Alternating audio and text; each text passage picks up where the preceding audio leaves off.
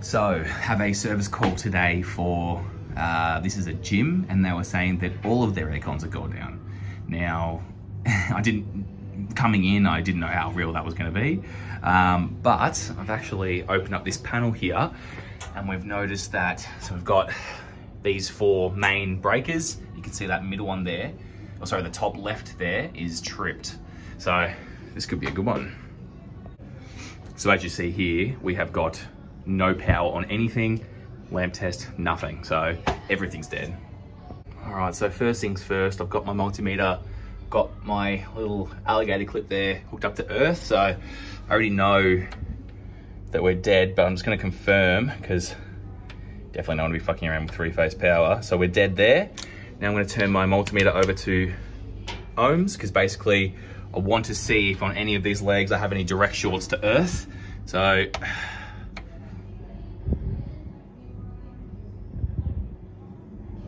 So that's L1. Oh, hello. Yeah, we've got a direct short on L1. All right, well, let's go L2. Okay, L2 as well. Okay.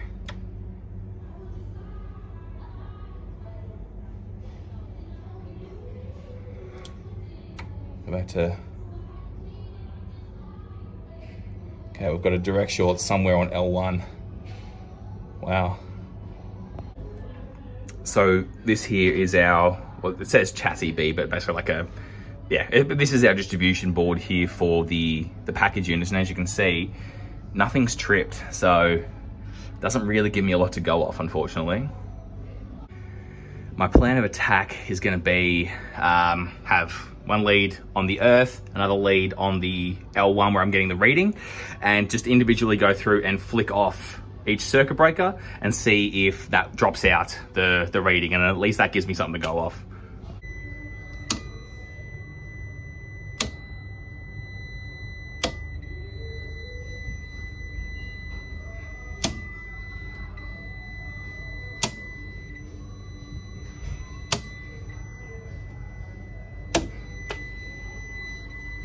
We're running out of circuit breakers here.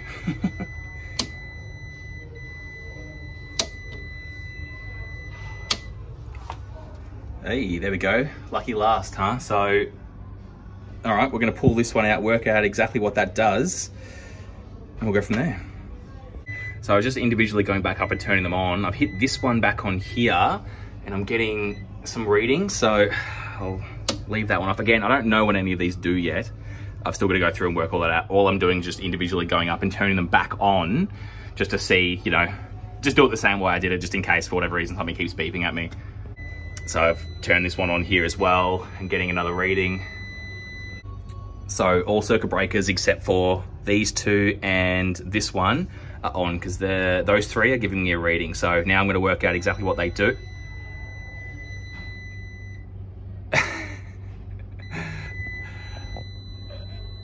Okay. So I'm intermittently getting a reading now, still with those three off, but there we go, it's come back on now, so uh, I'll have to look into that. Okay, so now what I'm trying to do is when it does start beeping at me, I'm quickly flicking off the breakers to see if it stops. So I've flicked my multimeter over to ohms and then taken it off the the tone function because I think that only works up to about 50 ohms or something like that. So I wanted to see what kind of readings I was actually getting. Um, and from what I can tell, so if I turn these three on here, or these two on here, there's a direct short. If I turn this one on, I've got a reading of 90 something ohms, right? So we flick that off. Um, I can have, if I turn, so AC2 I'm getting a reading of 2k ohms. So I'll turn that one back off. So this, which is a uh, apparently a big ass fan, that's giving me a reading of uh, 10k ohms. This AC is giving me a reading of nothing, so that's on. This package unit, if I turn that on, is 360 ohms. This package unit is 360 ohms. And then pack four is 640 ohms. So yeah, something's going on here. So this is linked up to a BMS system. So for, this is my first time at this site, so I'm still trying to work out exactly how everything's wired up, but yeah, we'll see how we go. So I pulled out the IR tester and just to confirm really, but yeah, I'm getting a lot of crazy readings. So all, all basically reading down to earth on all legs, on all of my uh, package units. So pack four, pack six, pack five, AC1 as well. Um, oh, actually, no, sorry, it wasn't AC1. I wasn't getting a reading on that. So it seems to be my package units. Um, so what we're gonna do, and so DDC down there's for my uh, BMS system. Um, but we're gonna go up on the roof now and individually test these package units. So just confirming on the wiring diagram here. So pack four, pack five, pack six, these are the ones I'm getting the readings on. Um, and you can see here, so it goes up here. So this is our circuit breaker here. So 40 amp, 40 amp, 63 amp. So 40, 63 and 60, uh, 40, sorry. So from there goes all the way up to our isolators. So we're gonna go test from there and individually test these units. This is our unit here, or at least one of them, so pack 04. Uh, it's an air change unit. Now, just gonna go through and test. Um, I flicked off the breaker, so that wasn't tripped when I arrived. I've done that. I'm just gonna test here um, to see if there's anything going down. And I might even just honestly just go through and flick off all of the um, main breakers for the units that I'm getting the readings on and then uh, go back downstairs and test to see if I can, basically I just need to get power back onto that board because I need power to the BMS system to actually see if these things, because uh, there's a couple of other ones that aren't running that are fed from a different area because the BMS system isn't up and running. So they've got no air conditioning at all. So after some hunting, I found my other two. They're uh, in this secret doorway the other ones are about 100 meters that way. So anyway, we're gonna have a look. I've gone through all the units that run off that circuit breaker. The only thing I can find is, you can see up there, uh, compressor overload or uh, circuit breaker is turned off there.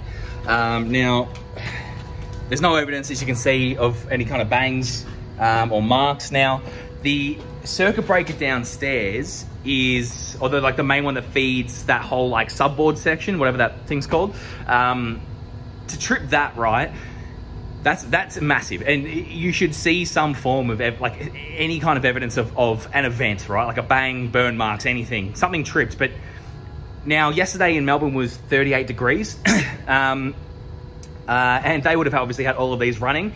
And I'm gonna have to make a phone call because I can't quite remember, but I have a feeling that those um, breakers are thermal. So if it gets hot enough in that uh, in that box, which like I said, it was 38 degrees yesterday, all the aircon's running, that's absolutely, you know, potentially the max it's gonna have. Um, there's a potential that's what's caused the issue and that's what's tripped because I can't find anything else to be the problem, right? Now, when it comes to electronics, they do some weird things and I have a feeling that those, the reason I'm getting a reading between my DDC controller and Earth and L1 uh, is because I think they're shielded. Uh, again, I'm gonna have to make a phone call about that because I'm not 100% sure.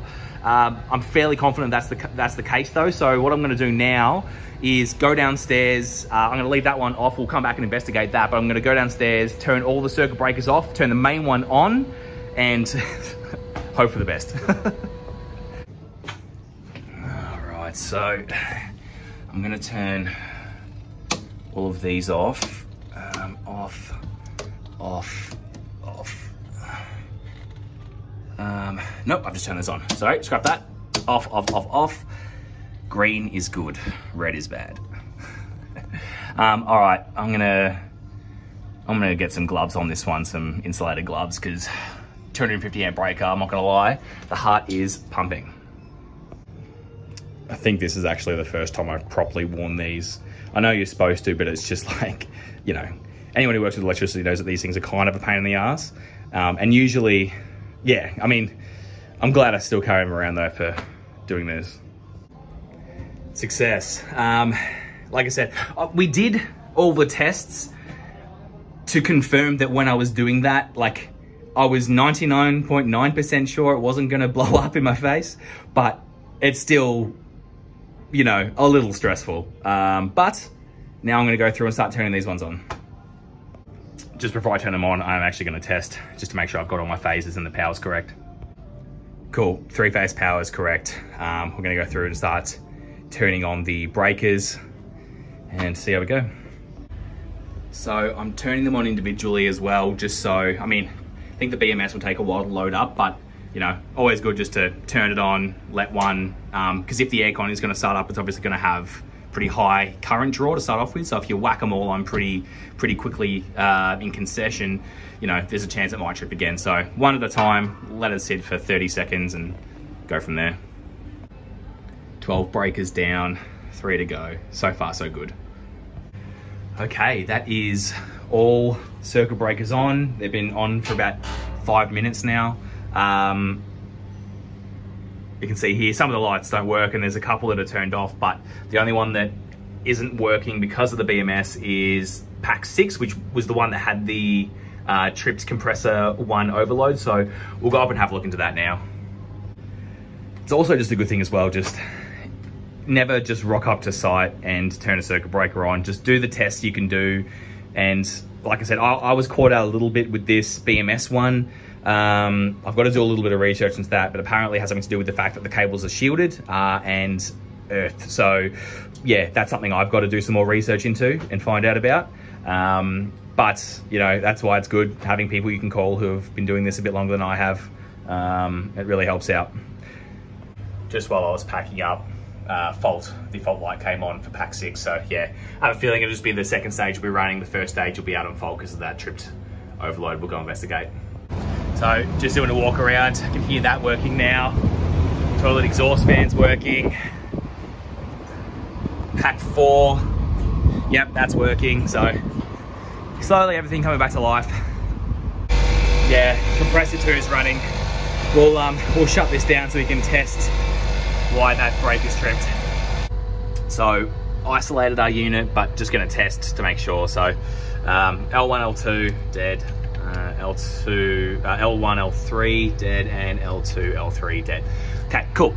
so basically, I'm now going to go in and test this uh, isolator here. So uh, the way this works, it just has a power feed that comes straight into our uh, overload up here, um, which then feeds our contactor, and then going down and hey, hello. Oh, there we go. Okay. Well, that could have something to do with our trip. Um, Oh yeah, very interesting. Hey, I missed that on the first inspection, but um, yeah, interesting. All right, well, yeah, well, we're still going to test the windings of our compressor to see if that's okay. But yeah, look at that, that has gone bang. Um, we'll uh, we'll test our compressor to see if um, it's okay, but at minimum, obviously, that needs to be replaced. So we're going to test our windings to earth. Um, it's a bit hard, a little, it's a bit cramped here. There's a wall right there, so it makes it nice and fun. But so that's from um, winding one, so that's pretty good. Winding two, that's good. And winding three. All right, I'm just gonna test winding one again because that was the one with the burnt wire, but yeah, cool. Honestly, it seems like it could have just been a loose connection. So, I mean, I wasn't gonna be able to undo that anyway, but I basically kind of just pulled that and it dropped. Um, so yeah, it could be a loose connection. Um, but regardless, we're gonna need to replace that. But I'm gonna insulate, uh, IR test the compressor as well, just to really confirm. But I think, looks from the looks of it, the compressor's okay.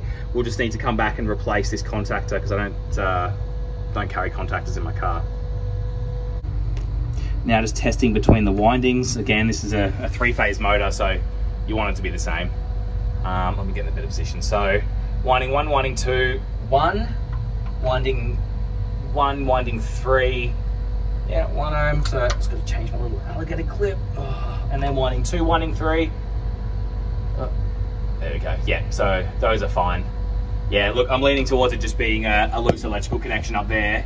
Uh, and we'll just go down the path of replacing that contactor. But like I said, we'll, we'll IR test this as well. Alrighty, so earth to winding one. Fine, earth to winding two and earth to winding three Fine. Yeah, so electrically this compressor's okay. Um, mechanically it could be seized, we don't know. We won't know until we replace that contactor and get it up and running. But look, I have a, look, I'm just gonna go down the path of saying that yeah, loose electrical connection was the cause for this tripping, and potentially that had something to do with the main breaker tripping, but coupled with the fact that it was a 38 degree day as well, um, I think those two issues combined are probably what's what's caused this this larger issue. Um, but yeah, we'll uh, we'll come back. We'll get the details of this contactor, come back and replace that. In the meantime, I'll just keep it isolated there, and I'll probably even. Uh, oh, actually, that is the only place I can isolate it. But yeah, we'll isolate it there so they still have one stage running, and we'll monitor the rest for the next little while. But if nothing else goes wrong, I think that'll be the end of this one.